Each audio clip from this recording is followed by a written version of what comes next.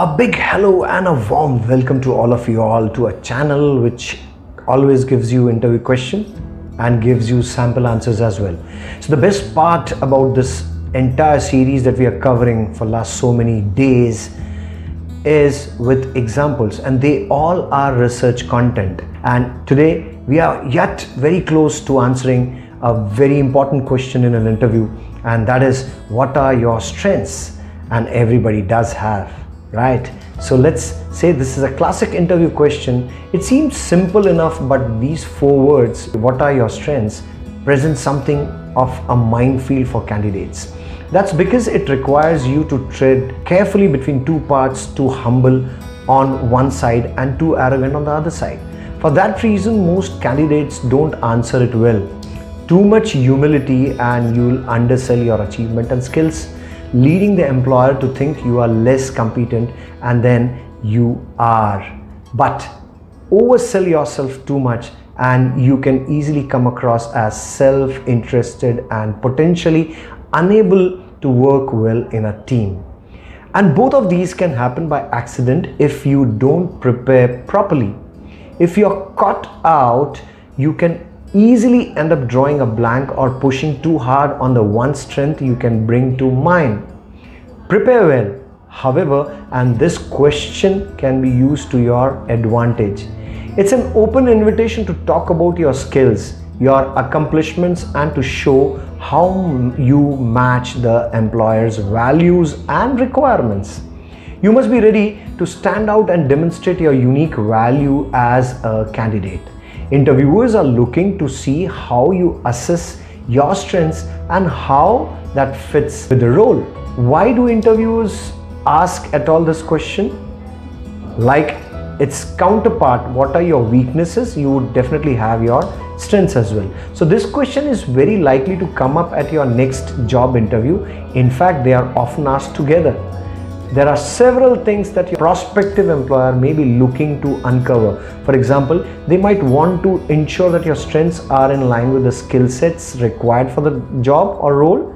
Check whether you are self aware and be able to speak about yourself with confidence. Test for qualities and experience that set you apart from the competition. Assess your communication skills. See how you think on that particular spot different ways of asking the strengths question.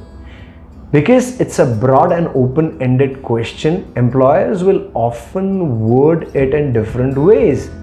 Don't be caught out if they are giving you an open opportunity to talk about your strengths, then it's this question. Learn how to recognize it and how to apply your planning, and you'll never be thrown off. Here are some of the questions more common guises how would you apply your key strengths to this particular position? Why should we hire you? What makes you the ideal candidate for this particular job? What makes you a good fit for this position? What do you feel sets you apart from the competition? What would your colleagues say you bring to a team? What accomplishment are you most proud of? Which traits do you have that make you most suitable for the role? Each of the question that I've mentioned just now are asked the same essential or they require the same essential ingredients. What are you good at and why would we want those skills in our company? From your side. Of course you don't want to answer all of these questions in the same way and come across as robotic.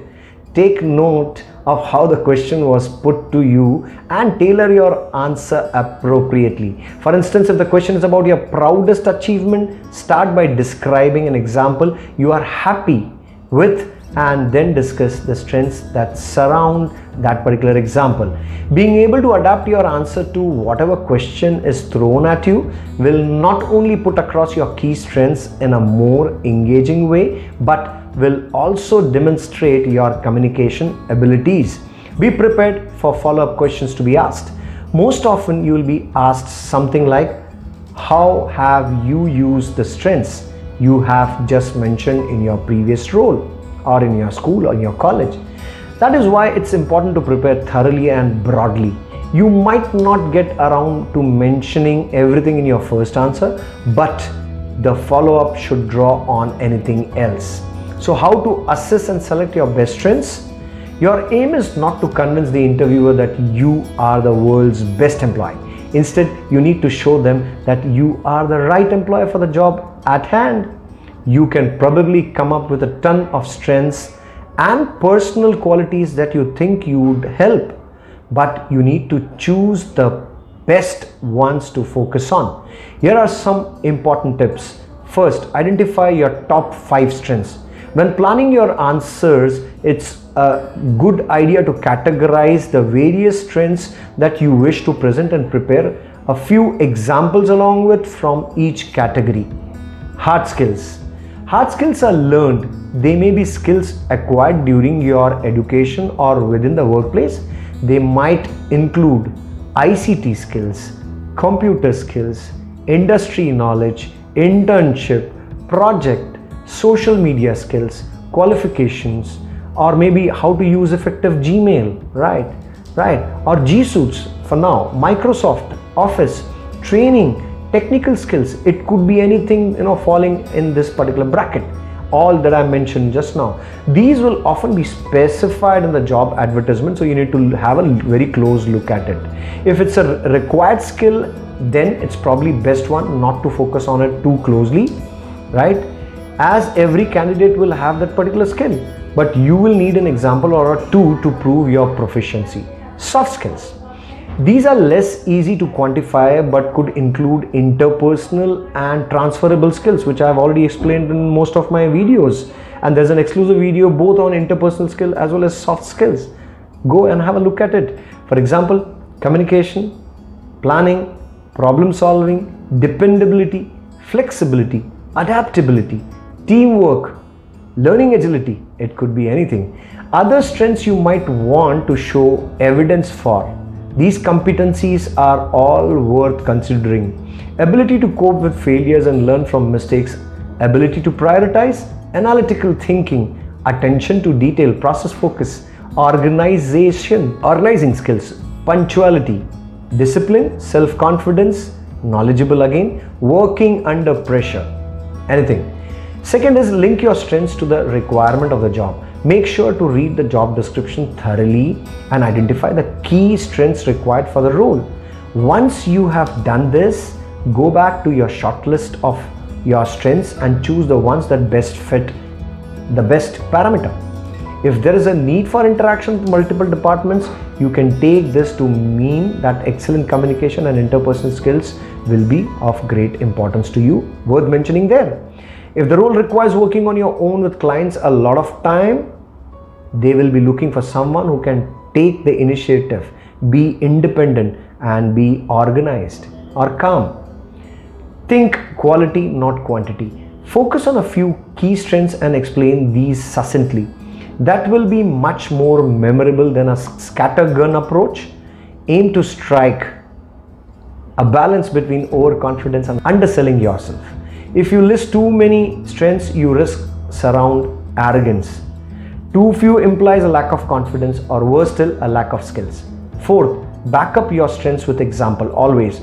Always have an example ready for each strength. A skill without a concrete example means little to someone who doesn't know you. For example, if you mention excellent communication skills, you could follow this up and how this helped you run multiple social media platforms during your work or your educational you know, journey. The best way to prepare for questions about your strength is by doing as much practice as possible. Some sample answers. The answers you use in the interview should feel natural and unscripted so that you can adapt to the wording of the question and use your own experiences. With that said, we have come up with few examples. So let's try example number one. I'm highly adaptable to change during my internship. A new payroll system was introduced and other members of staff were unhappy about it. I taught myself how to use the system in my own time and was then able to train others how to use it. The answer states concisely what the strength is before immediately following it up with an anecdotal example from a previous employer to reinforce it. It's an example that shows how the candidate's strength provided concrete benefits to their employer while also hinting at other skills indirectly like the ability to learn a new technical system quickly and the initiative and interpersonal skills to help colleagues. Example number two, I excel when dealing with clients. In my last job, a customer was very unhappy when the delivery of a sample product was not made on time, which meant that they lost out on making a major sale. I went out of my way to listen to the customer's concerns and understand everything that was wrong. I apologized and presented a solution by calling other clients to see if they had any spare samples, which I volunteered to deliver to the customer the following day. Again, this example begins with a skill and lay out a step-by-step example of that particular skill in action with a previous employer.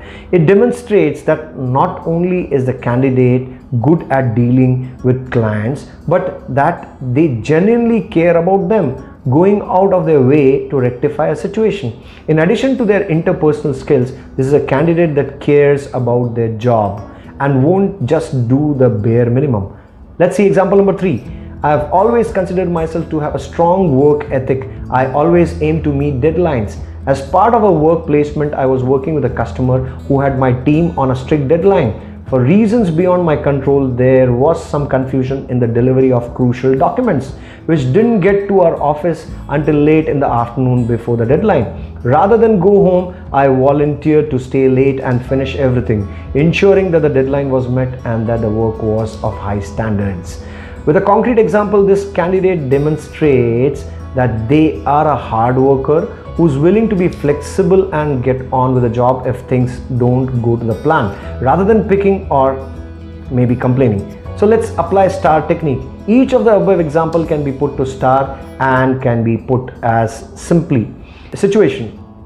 Uh, give the context of the example. What was the project? Who was the client? Were you working in a team?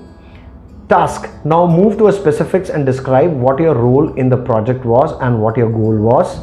Action. Describe the action that you took towards that goal. Be careful not to talk about the team's contribution here. This part is your time to shine. How did you bring your team closer to the to that particular goal? Result. Finally, talk about the outcome of your actions. If you can add some numbers in here, saying that your boss told you job well done is fine, but to be able to say you increase profits by 20% for that quarter, this is much better than more being concrete.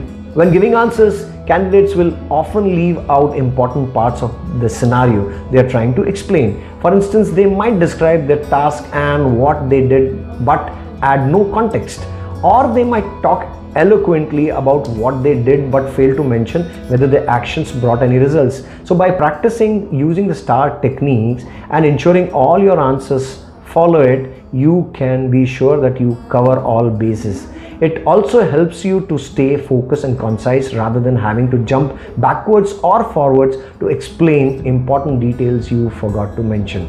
Now mistakes to avoid. Uh, giving a list of strengths, reeling off adjectives without any consideration for a job specification or without concrete examples to back them up can make your response forgettable and risks making you sound arrogant. Remember to think of the specific strengths uh, you have that make you a good fit for that particular role. Second, irrelevant answers. Any strengths you give should be related to the skills expected of the ideal candidate for example if you are applying for a job in an accountancy saying you are great athlete is unlikely to enhance your application. Irrelevant answers may also suggest to the interviewer that your weaknesses lie in areas crucial to the job. Vague or general answers. You need to demonstrate self-awareness so it isn't good idea to say that you are strong in many respects but can't think of anything in particular. Back up your answers with short examples and make sure you know your strengths in advance since any hesitation risks undermining your answer. This is not a time to sit on the fence or be overly modest. So what if you don't know your strengths? If you find yourself struggling to come up with a list of strengths, you might want to try some of these approaches. One, ask someone else. Getting a fresh perspective can help to bring out an accurate reflection of what you are good at. Try asking someone who knows you well, such as friend, colleague, family, what they think your strengths could be. Second, look back on past praise and achievement. Try to recall any praise or feedback you received as a student or during any internships or work placement or a project. It's always a good idea to keep a personal file of any positive feedback you receive throughout your education and employment. Similarly, review any achievements you have included in your CV and identify what stands out. Look at the key skills of others in a role similar to yours.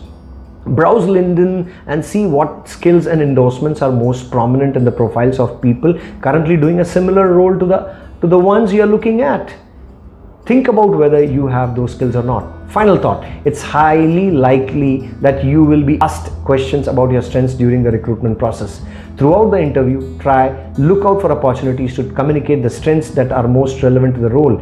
If you are asked about your previous employment or experience, try to share an example which relates to one of your strengths.